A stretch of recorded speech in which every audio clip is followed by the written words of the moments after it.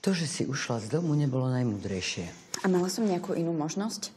Ani jedna z tých vecí, ktoré som mala naplánované. Celý život si myslíš, že všetko musí byť po tvojom. Moja svadba by teda mohla byť po mojom. A moja bola? Ale táto je moja! Dobre, uznávam, že som sa ti do toho, čo je pre teba dôležité, trochu plietla. Nie trochu, ale veľmi. Ospravedlňujem sa ti. Vždy riešim všetko za všetkých a tak som si myslela, že by bolo dobre to trochu urýchliť. A využiť moju svadbu na pašovanie tovaru z Ukrajiny mňa uráža, že z najkrajšieho dňa v mojom živote má byť kšeft. Dobre. Nebavme sa teraz ako babka s vnúčkou, ale ako dve dospelé ženy.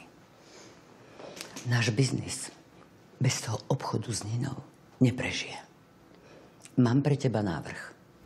Vrátime sa domov, urobíme peknú svadbu, ale prebehne aj ten náš obchod. A potom ty a Mikita zajdete na svadobnú cestu, kam len budete chcieť.